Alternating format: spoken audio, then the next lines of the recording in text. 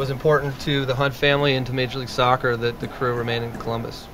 Um, so we're very committed to that. We're excited to be here. They are considering moving the crew to Austin. I see a vision of uh, Major League Soccer being very, very successful here in Austin. Columbus Crew SC is one of the original franchises of Major League Soccer, but the team's future here in Columbus now stands in jeopardy.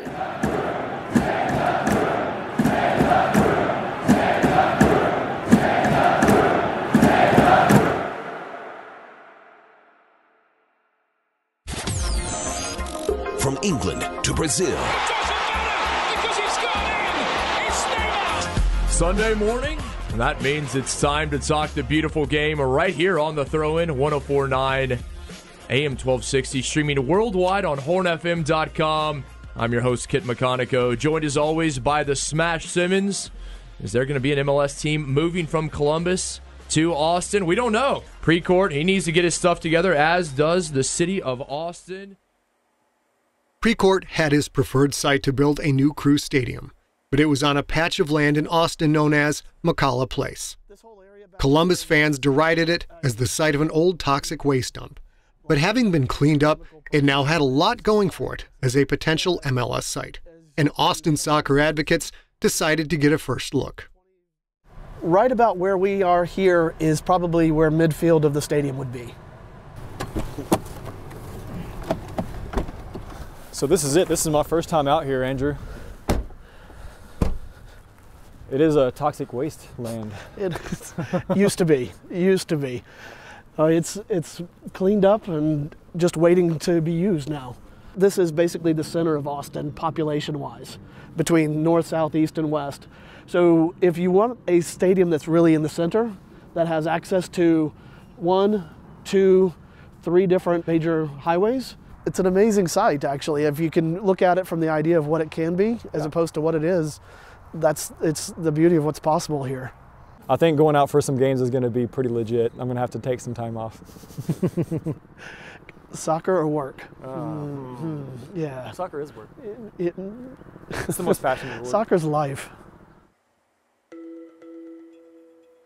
While the whole project had come as a shock in Columbus, Austin soccer fans had deduced long in advance that something was in the works, thanks to some detective work by the leader of the biggest MLS supporter group in Austin. February 21st, 2017, we posted an article um, via Columbus, Ohio, which essentially laid out the potential for uh, a team to maybe relocate to Austin versus uh, expansion, which was our initial goal. Um, and that came about because um, the league had set up an expansion process, which became the 12 expansion candidate teams. Austin was not in that list. We didn't have a local owner, yet Austin kept being mentioned in, in the league rounds and name dropped by Don Garber. And so we were like, okay, well, clearly there's still interest in Austin, but we're not one of the 12 candidates. It only leaves you with one other conclusion of how do you get a team, moving one here. If Precourt was to succeed in his efforts, it would be necessary to convince the mayor and the Austin City Council to grant him use of McKalla Place. While some council members embraced the idea from the start, others were far more skeptical. And the first face to face meeting with one in particular couldn't have gone any worse. I was on pretty much red alert at that point. The thing is, is they weren't telling me anything. They wanted, they wanted to charm me, um, which was not going to be possible. They don't strike me as the kind of people who would understand how to do that. So, if Austin's council members were not immediately won over, what was motivating Precourt to push for it? It turns out that when Precourt bought the crew in 2013, a clause had been secretly inserted into the deal that allowed a move to Austin, the largest city in the U.S., without any other professional sports teams as competition. And that wasn't all. Setting up an MLS team from scratch in Austin would require Precourt to pay the league a $150 million expansion fee.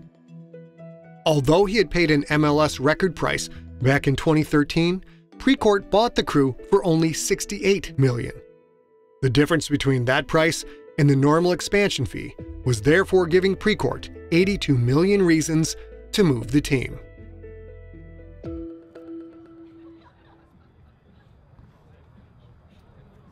The annual Supporter Summit in Columbus would provide fans with their first face to face meeting with the team front office in the four months since learning of the Austin project.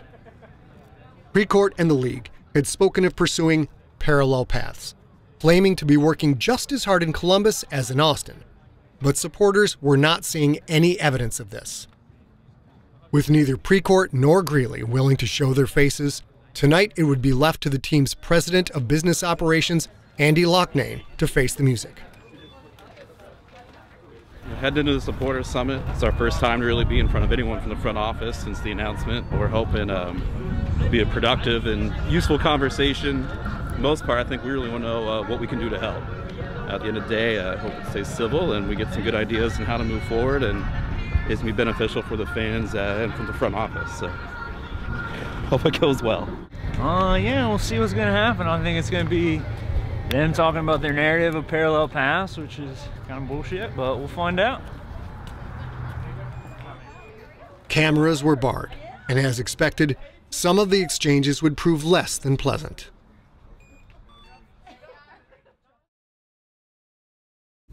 What what can we do? I, it, this that's pretty much why everyone's here. What can we do? In order to build a stadium, you have to have what's called contractually obligated income, COI. No bank will lend, will finance construction of a project unless there is the right amount of contractually obligated income. What if your trust fund baby had the money for it?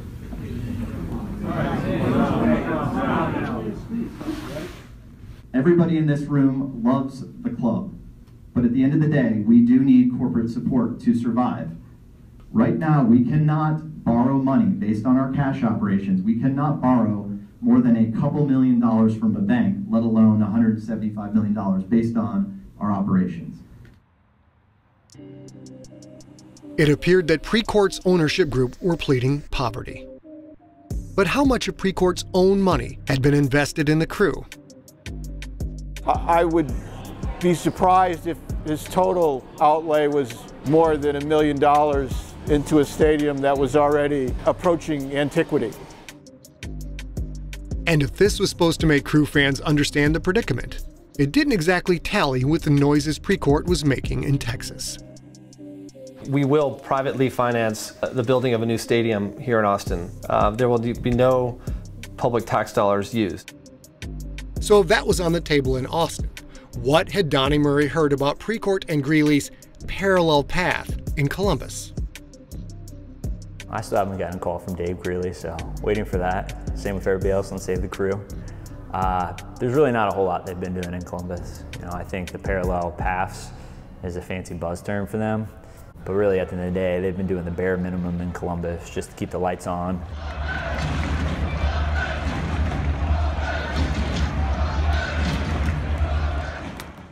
If Precourt and Company were truly making an effort, it didn't seem to be working.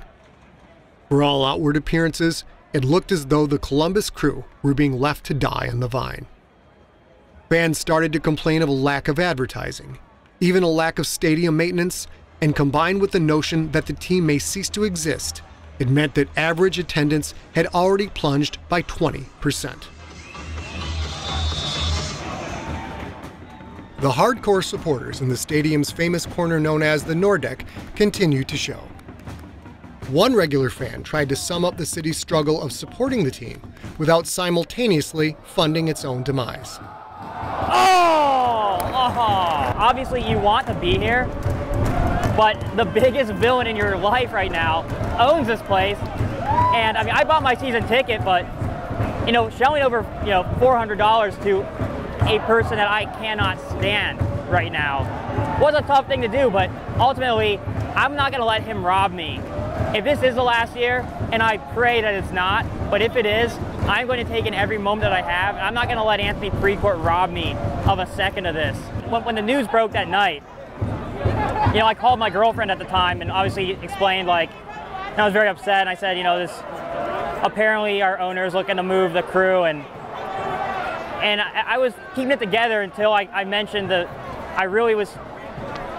I, it's something I never really thought about too much until that, that time, but I, I realized I would never be able to bring my children uh, to the match, and you know that's a tough thing. That's a tough pill to swallow when when that, that realization kind of hits you that this may not be around here in the future, and something that I held so dear to myself may not be available to my kids.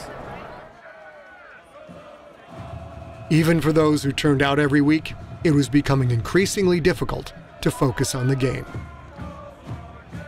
We all knew where our money was going. It wasn't going into investing in the stadium, which we saw falling apart all season. It wasn't to, to investing in advertising for this team to, to make sure people were coming out to games. It was going to pay for those green and black scarves and hats and shirts down in Austin, Texas, where crew fans are here paying $30 for a t-shirt at the team store. And that's one thing that's really made me angry. Faced with this dilemma, Save the Crew decided to create a shirt of their own to show support remained while raising money for their cause. The shirt came together as an idea that actually one of our supporters kind of threw out uh, on the internet. You know, we don't come up with all the ideas as a small little team. Everybody's always helping. We didn't want to throw together a cheap jersey, slap Save the Crew on it. Uh, so we really wanted to, to have something that people could be proud to wear and something that showed uh, community support. Community support appeared to be less of a problem in Austin. Fans were able to toast the crucial role that a big league soccer team may play in unifying a city so attractive that the population had doubled in less than a generation. We come together for the UT games. We come together to tailgate and have a good time with those, but that's six, seven games a year. Soccer, few, few and far between. Soccer is a year-round sport. Period. The end. It's a year-round sport. Uh, it's a sport that can bring the city together. Because you know what? Every person that lives in this town, they all support a different American football team. Hell, they all support a different English team. they all support a different basketball team. We don't have anything that brings us as Austinites together, and it's uh, it's a beautiful thing from an Austinite to think about having something where we're not separated. We're all together on that. But there was a moral question that needed to be addressed. How could fans in Austin support something that brought them together at the cost of a soccer community that already was together elsewhere? In 1996, a team was given to them, you know, mm. and I don't see it too much different that if a team just falls into my lap. The town doesn't want it. If the town is as big as, you know, they put it out to be, they wouldn't be leaving. The crew has been there for 22 years. If you do not have a stable support group, a stable uh, uh, stream of viewers, a stable stream of people going to the game, then you're doing something wrong or the town doesn't want it. No good businessman is ever going to leave a town that's going to bring them money. The only reason he wants to leave is because there's not enough support. And I feel for them. I really do, but it's a little too little too late. The unapologetic rhetoric coming from Texas made crew supporters angry. But was that anger born of the knowledge that deep down it contained more than a grain of truth? You can argue that, and I've argued that more than twice or two times since this all started. Matter of fact, the first column I wrote on the subject for the October 18th newspaper said, Precourt may be a lot of things, and I named a lot of things. Um, and the second paragraph was, but he has a point. Hardcore supporters were not the problem. The city itself stood accused of ambivalence toward its soccer team, focused instead on Ohio State college football, pro hockey, and pro baseball that would not be competition to a team in Austin. I would describe the city's view of Precourt and the crew prior to uh, his announcement as um, neglectful is too strong a word, but not worried enough would probably be a proper way to describe it. If city leaders had been asleep before, Precourt had certainly woken them up, and the Save the Crew movement looked to harness their support. This morning we have a guest with us, Mr. Morgan Hughes, hashtag Save the Crew campaign. It's nice to see the, the scarves around the necks of so many of you today. We, uh, we try to keep in mind that the way that we communicate our message is as important as the message itself. While Precourt retained the best lobbyists money could buy in Texas, Crew supporters were left to lobby public offices across Columbus without any assistance of any kind from the club. Uh, Madam President, Mr. Mayor, council members, thank you for uh, taking a moment to listen to me today. Uh, because as many of you know, the current investor operator of the Columbus Crew is considering moving the team to Austin, Texas. 2018, a resolution to urge the investor operator and chairman of Columbus Crew Soccer Club to keep the franchise in Columbus and forgo relocation efforts. Mr. Schmidt, your sponsor. Okay, yeah, I'm a sponsor. I'll show my solidarity here. That's awesome. While they were able to secure motions of support from local civic leaders, these were nothing more than ceremonial, and it would take far more than this to deter Precourt and MLS from moving the team. The lack of corporate support mentioned by Andy Loughnane was being addressed behind the scenes. Within months, Save the Crew had built a roster of over 300 local and national companies willing to throw their weight behind the movement. The team had stood accused of performing poorly in its business metrics for years before Precourt was ever involved. Most notably, in season ticket sales, which had fallen far below the magic number of 10,000 per season. This is an important number in crew history because we were established as the first team based on an initial pledge of 10,000 season tickets in Columbus. MLS Commissioner Don Garber had been accused by some of blindsiding Columbus. But in previous years, he had visited the city specifically to help restore the crew to its former glory. We need to grow that fan base back to the first 10,000 season ticket base we've ever had. The crew held that record until 2007 because this team matters. And if we could have it matter even more, it'll be great for the city. And even Anthony Precourt himself recognized that a team's support was built on a stable season ticket base. Hi, Crew fans. This is Anthony Precourt, the new chairman of your Columbus Crew. As we embark on this exciting new era in Columbus, I hope that you will continue your support for the club so we can close in on our goal of 10,000 season tickets. Taking the hint, Save the Crew decided to take on the challenge themselves. They created The Pledge, a drive to establish their own base of fans who would buy season tickets under a new ownership for 2019, if the crew remained in town as an MLS club. So when we launched the season ticket pledge, it only took us a few months. We had 10,000 season ticket pledges. We're super excited to turn over our list of pledges to the next owner of the team. So if it was supposedly this easy, why had previous owners failed? The crew was founded by U.S. sports magnate Lamar Hunt, and although he was revered in Columbus, he was based in Texas. After his death, his family were ambivalent toward the team until selling to Anthony Precourt, who was based even further away in California. His first press conference, uh, another a colleague of mine, another columnist at the Columbus Dispatch, was already hitting the the button of the alarm button. Um, I went back and looked at that column, and uh, it was this guy is it's another out of town owner. I do live in Northern California. I'm excited to get to know Columbus better. I'll be honest, I haven't spent a lot of time here. For Save the Crew leaders, the root cause of the team's economic problems were becoming clear. Not having a local owner here and not having someone really dedicated to the community. They're not as connected to the local business community as they should be, uh, whether that's because they're an outside investor or they haven't spent the time, you know, boots on the ground, getting to know the major players in town. I think that's part of it as well.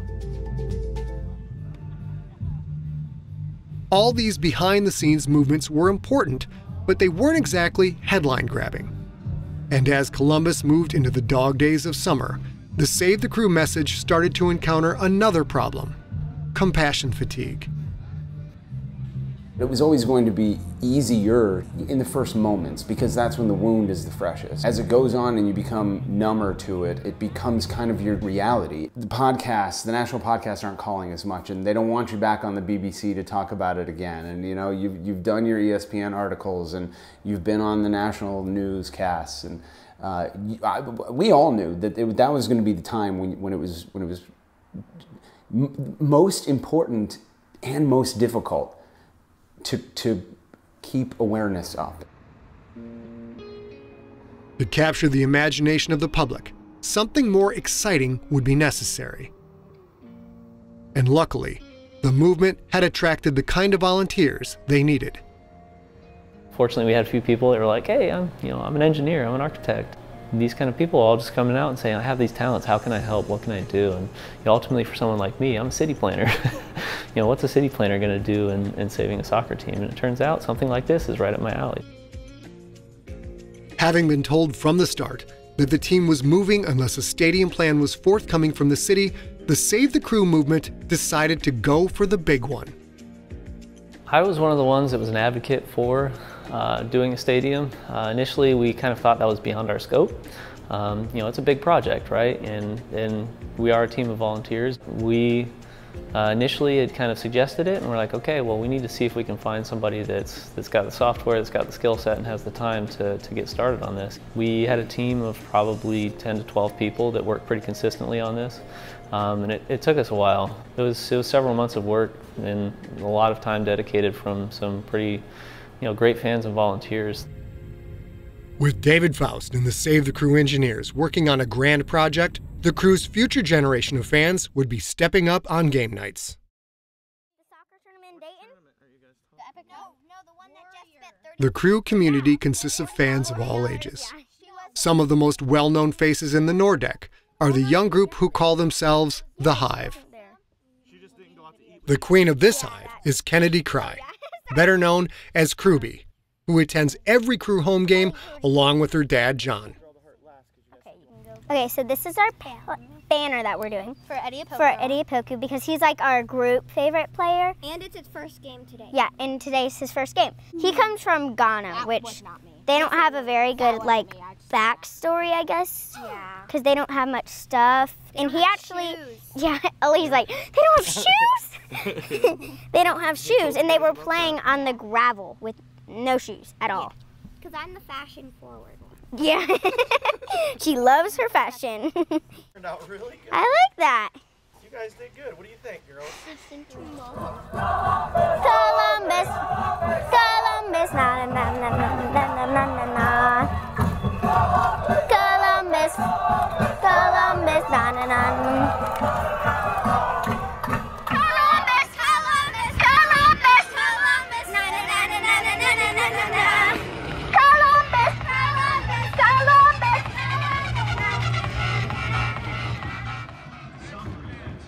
Tonight is a big night for Crewbie.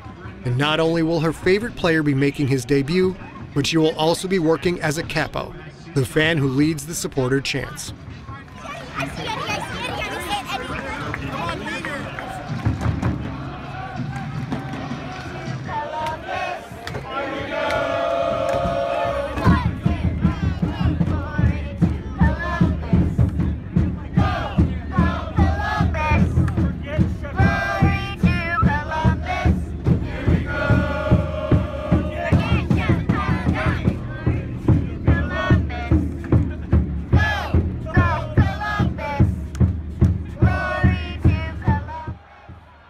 Game is heading for extra time, but as full time approaches, the Hive lead a crew stadium tradition.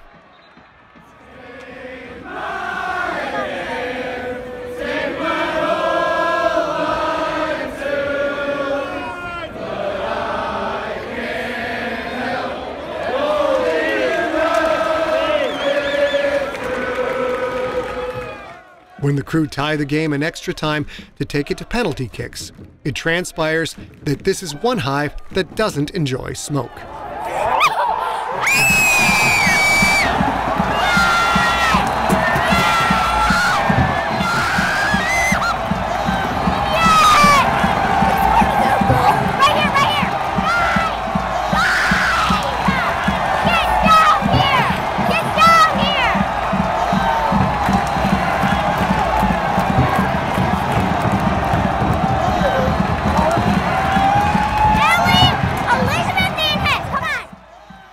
It would be left to their favorite player, Eddie Opoku, to take one of the sudden death penalty kicks.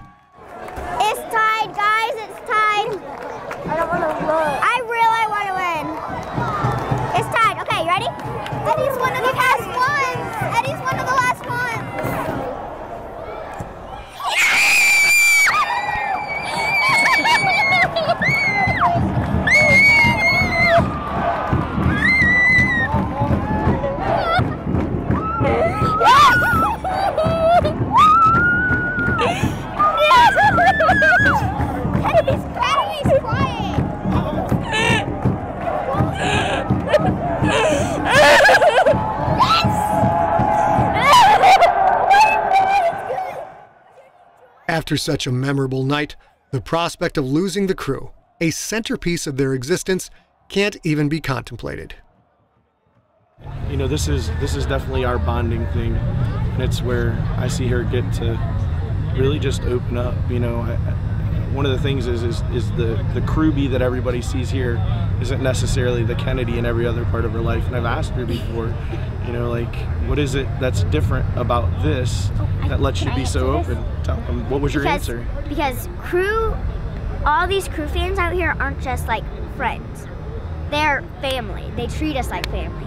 So she They're said. like yeah, so she Mama. said she's not embarrassed around family, and Yeah. she feels like she can just have fun and not worry about what anybody thinks.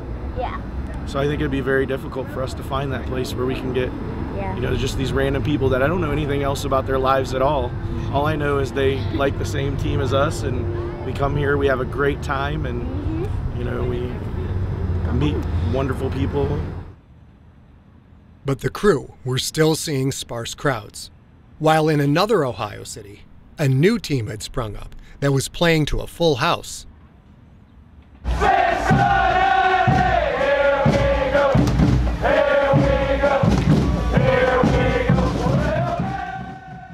After two decades as the figurehead of Ohio soccer, the crew now faced a challenge from New Boys FC Cincinnati. Playing one league below the crew, they had been a huge success since their startup in late 2015 and were just one season away from reaching MLS. While the locals fully embraced the club from the beginning, even they were surprised by the Sun's success. Kind of randomly, uh, end of 2015, I think it was. Yeah. Uh, FC Cincinnati gets announced uh, playing in the USL, which is kind of like an up and coming league. People just kind of went nuts for it. Uh, they announced they were playing in Nippert Stadium, which I think a lot of people were skeptical about. If they could fill it, maybe even get 10,000 here on occasion. And that first game, 14,000 people showed up, and people just kept coming back every weekend after that. who watches soccer in Cincinnati. Turns out a lot of people. I came with the assumption that we would immediately be singing songs that we all knew somehow. I don't know why I thought that, but I took the game in over there. I look over to this section, smoke going off, flags and whatnot. Um, and at one point in the game, I don't remember when it was, the entire crowd just FCC, FCC,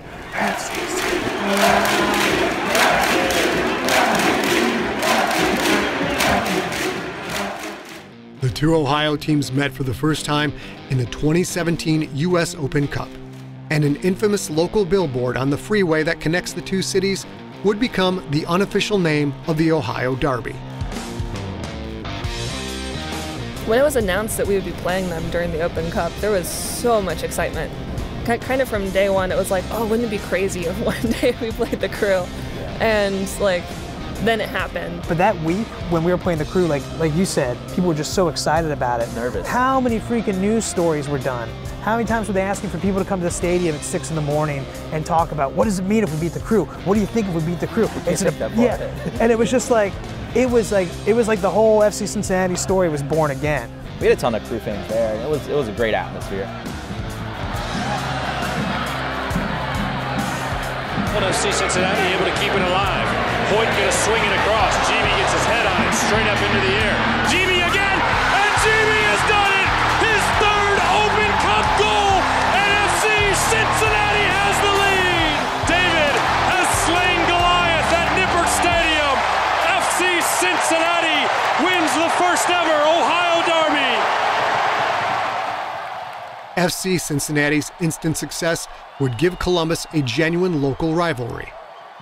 But supporters of both clubs started to wonder out loud if Cincinnati were not so much rivals, but replacements.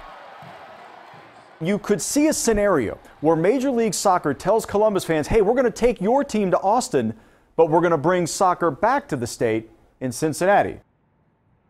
It kind of started justifying some of the tinfoil hat theories we had. Like, were we the destined replacement for them? Then it's it felt pretty shitty for a long time that we were kind of a pawn used in that MLS chess game.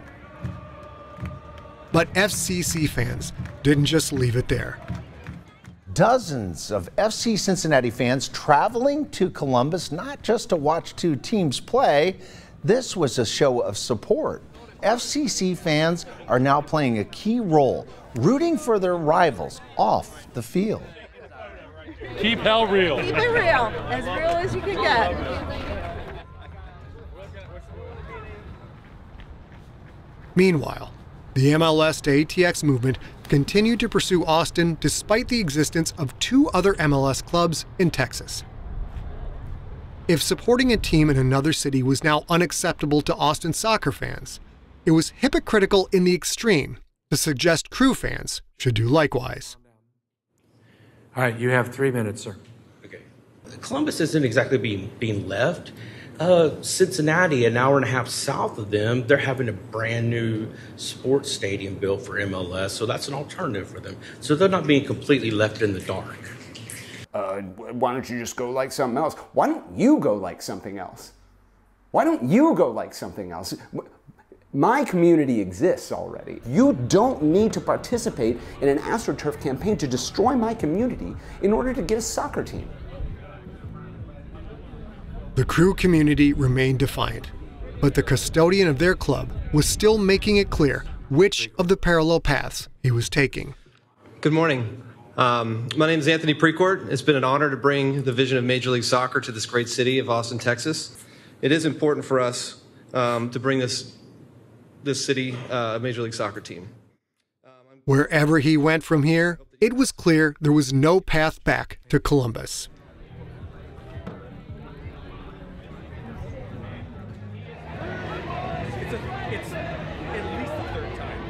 A warm summer evening always guarantees a good turnout at Crew Stadium.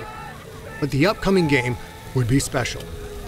Iraqi national team player Justin Meram spent six years as a crew regular, but was traded soon after the Austin uncertainty began. After just six months, he's decided to return to the community where he was loved, and his entire family have made the trip too. We're really excited to be back here in Columbus. Uh, it's bittersweet that Justin left and now he's back and, and we were so excited and the first game back had the whole family get out here and got the RV all packed up. The Save the Crew TIFO team have laid out a very special welcome mat.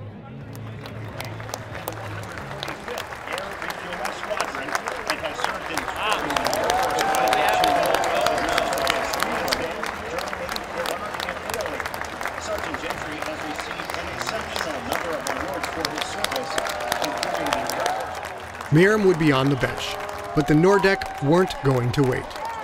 Let's go, J9! Dude, that thing is huge. The family snapped pictures for posterity as they eased back into familiar surroundings. Any anytime I go to lunch with my uncle and I like stay with him and go to the locker with him, they've never lost the game. Every time Why I've you do done that that, today? because we couldn't. If they if they don't win today, you're the jinx. We're not gonna let you come back. Save the crew. Save the crew. Save the crew. Save the crew. Do you think they will save the crew? I hope so. As fans get up for halftime refreshments, the Merams find themselves being recognized by some old friends in the stands. We met at a Chicago road game. Yeah. Oh, I was standing either in front of you or behind you, I don't remember, at a concession at the concession booth. Yeah. And I took one look at you and Francis, and I You're was like, like, "Are you "You're Justin's Justin's brothers?" brothers?" Ever since that road game, we've been friends. yeah. Yeah. Nope. It's all right. You're a lifer. We're a lifer. Absolutely. And that's what I was telling your dad. Like, this is what it's all about, Yeah. right? This is what we fight for. With no score in the second half, fans start to chant for their returning hero. Will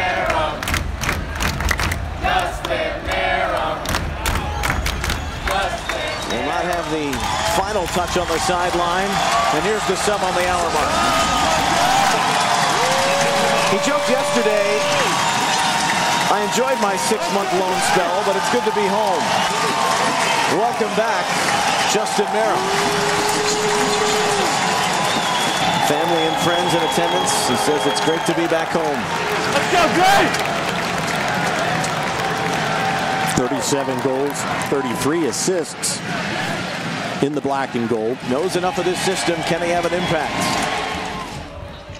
In the final minute, crew fans got their answer. Spreading it left, Artur. Awful. Mullins.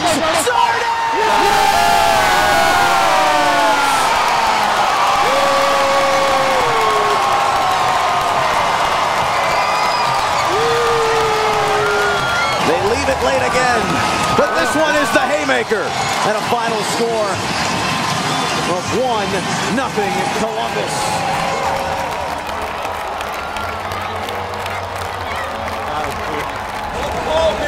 Thank you. We're happy to be home. It's been a triumphant night, one of the largest crowds of the year, a last minute winner, and the return of a well loved family.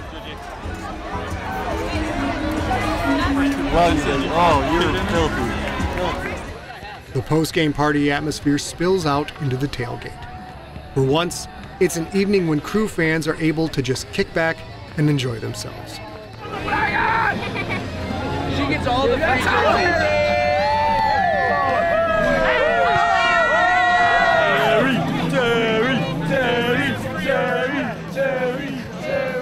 And it only gets better when there's a curtain call from the star player himself. What's up, buddy? J9 is back. Yay! He is the piece that possibly we need to feel that wholeness. Mm-hmm. You know, we have so many things going on to make us feel like we're losing bits and pieces of the crew, but he really is part of that wholeness of our of our team and of our fan base. It's a symbolism, right? Like we're, we're family. that like, means we're not something. related, but we're family because of crew. Uh-huh. And now Justin Meram's family is here too. And I'm crying. I'll stop. Every fan that we walk by, I mean, from the second we got here, we're so thankful that you guys are back. We're thankful that Justin's back. We're just happy to be home. really. The mood was now more upbeat.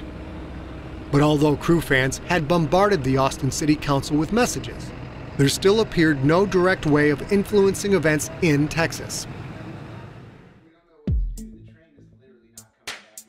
Little did anyone realize how quickly that would change. Uh, It was a Sunday afternoon, and uh, I got a text message from a 512 number.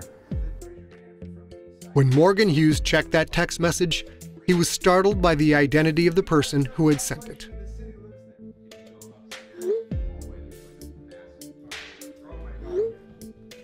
A priceless opportunity for direct contact with Austin City leaders now presented itself. Hey, Morgan, this is Leslie Pool. I was hoping we could chat. Okay. When are you thinking? She's like, Well, I'm at the airport right now. I bought the plane ticket. I made the decision pretty quickly on Saturday night and flew out Sunday morning.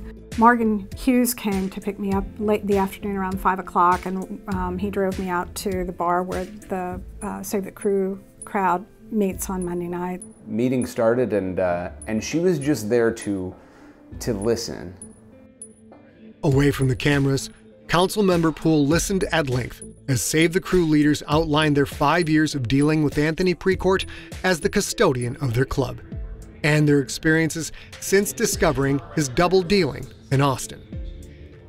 If there's one place that should know what it's like to do business with Anthony Precourt, it, it, it, it should be Columbus. And if we were going to be entering into a partnership with him, I needed to understand um, how he would how he would operate. Pool's visit was a huge political coup for Save the Crew. But in Pool's home district in Austin, MLS to ATX supporters were up in arms. We were surprised and disappointed that she chose to go to Columbus to talk to fans there rather than engage the fans that are in her district and in the rest of Austin. I mean, it's we don't understand why she would do that. I find it disappointing that you know she would travel to Columbus to get that perspective, yet ignore that here at home.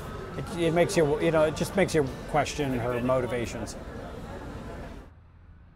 Austin supporters were not going to let her off the hook.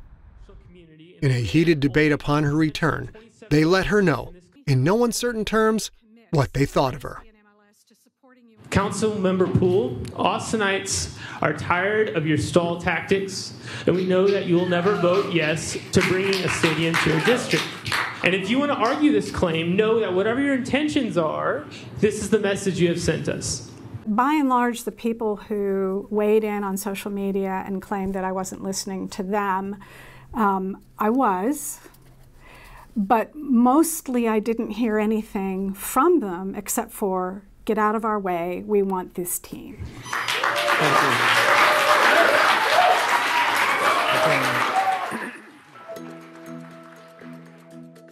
But the defiance of the fans was not reflected by Precourt's team. A previous statement had already shown increasing concern that the Save the Crew campaign could derail the plans in Austin.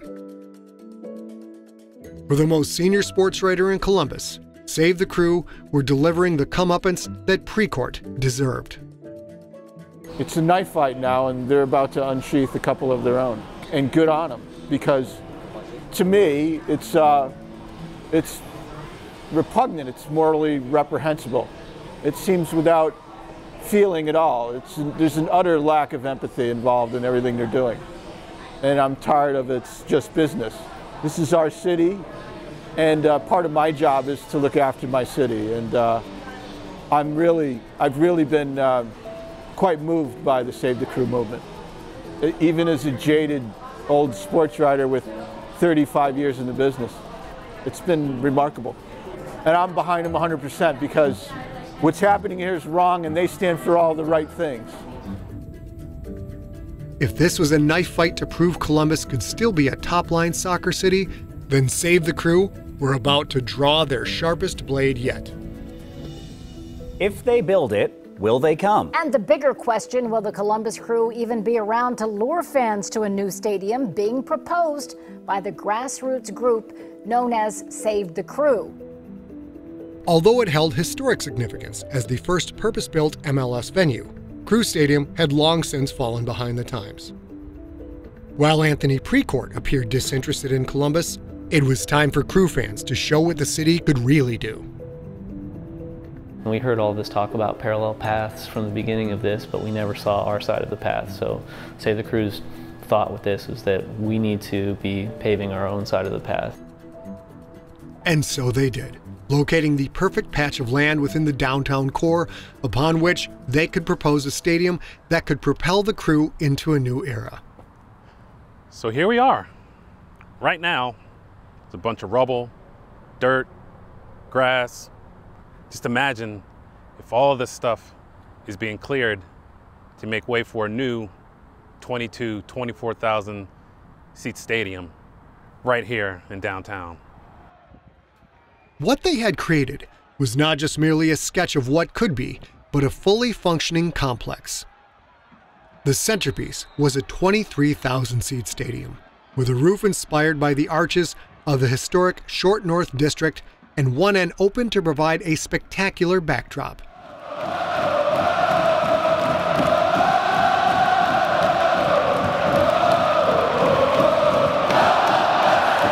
We've got the skyline behind us with some of the biggest buildings in the city lit up in gold. An expanded Nordecke would raise the noise to new levels, but the style was more than backed up by the substance. Included with the proposal were plans to handle traffic flow, parking, public transport, sustainability, and a green space. Frankly, a group of volunteers doing this in their extra spare time just from the passion that they have for this team, being able to accomplish what we've accomplished is really, it says a lot. Save the Crew had created the entire project without the club's assistance. If this was what Columbus could do on its own, how far could it go if the club's ownership and the league were with them? We've all been wanting this for a long time. I see it, and thousands of others see it as well. And I just can't wait for it to happen.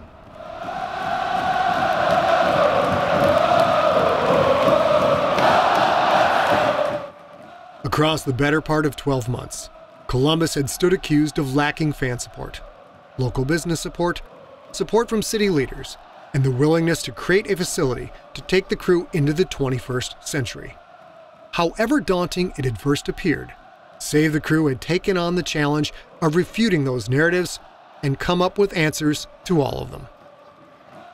One thing that hasn't changed, though, in all this time is the support that the community, the fans, the people here in Columbus have shown for the team. People outside of Columbus probably were mistaken in thinking that there wasn't a lot of support for the team here. They're wrong.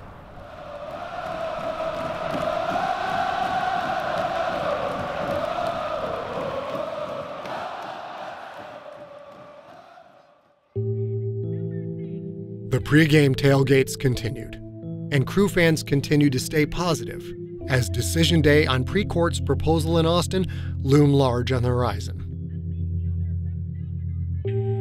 But after almost a year of unpaid volunteer work, the Save the Crew leadership were starting to tire.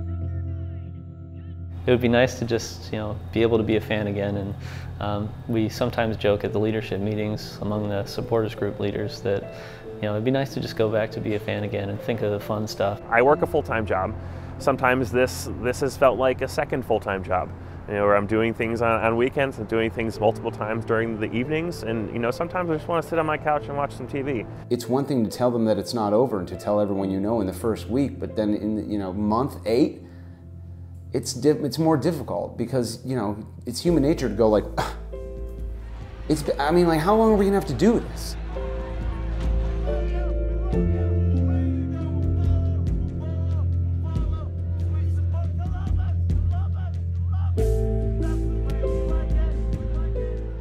For the movement's creative director, there was an acceptance that their best efforts may still not be good enough. We are probably closer to the end than the beginning. I would certainly hope we're closer to the end than the beginning. Regardless of how sure and confident we feel, there's always a chance that we may not succeed. And I think even in that instance, I think that I'm proud of everything that, I've, that I personally have been able to contribute and that Save the Crew as, a, as an organization, as a team of humans has, has accomplished and what we've done and just the breadth of projects that we've produced and uh, you know I'll let them say what's, what the rest. Crew fans had given blood, sweat, and tears to save their team. But all they could do now was watch events in Austin and hope.